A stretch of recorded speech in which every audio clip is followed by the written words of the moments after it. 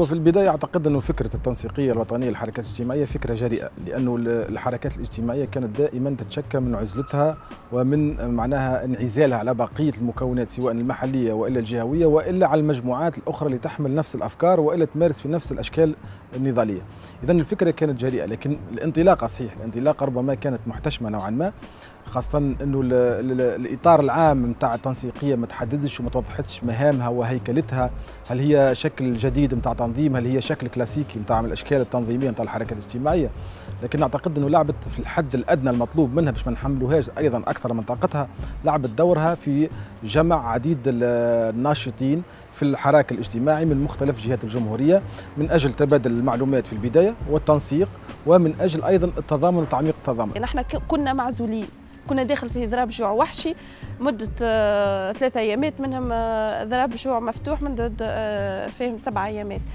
ووقتها ما فماش الإعلام ما فماش سلطة متغيبة. كان حضور التنسيقيه لفك العزلة هذه حتى إن وقت اللي خرجنا نهار 19 جويليا في المسيرة المعروفة مسيرة 17 اللي كان الحضور حضور آه، نسوي بامتياز معناتها لأول مرة في التاريخ.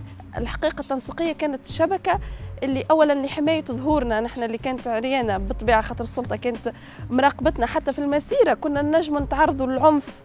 يعني كنا نحن محميين بالناس المعتصمة في بقية الجهات. التنسيقية يمكن نسمع بها أنا واحد من الناس في قفصة. قفصة إيش تمثل؟ تو أنت عندك حوض منجمي.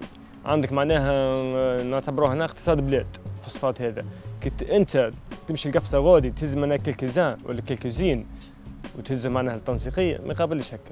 هذا الحديث هذا كل ما إحنا ما حبش ندخل حتى في ما يجينا حتى حد ما نسمعوا حد.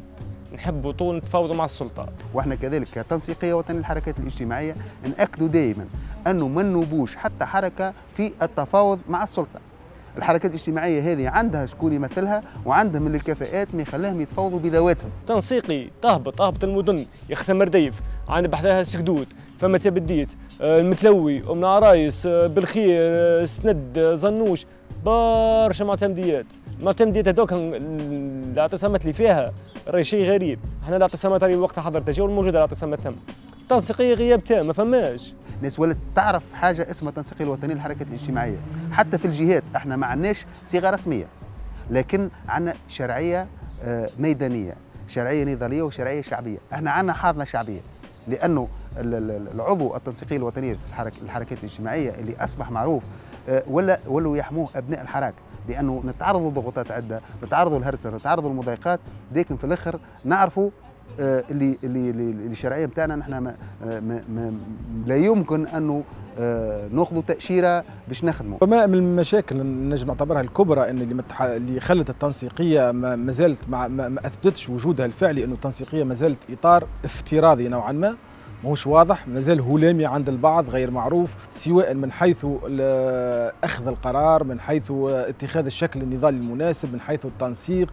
اذا عندها هي نفس الإشكاليات اللي تمر بها كل التنظيمات الأفقية وذاك علاش يلزمها أكثر مجالات نتاع التقاء نتاع نقاش بين الفاعلين مختلف الفاعلين الاجتماعيين من أجل تحديد آه، المفهوم الحقيقي لهذه التنسيقية والمهام المطروحة عليها. لأنه التنسيقية ماهوش من مهامها أنها تقود النضالات بقدر ما هي من مهامها آه، تعميق التضامن والحفاظ على وحدة الحركة الاجتماعية مع احترام خصوصية كل آه، كل مكون داخل هذه التنسيقية.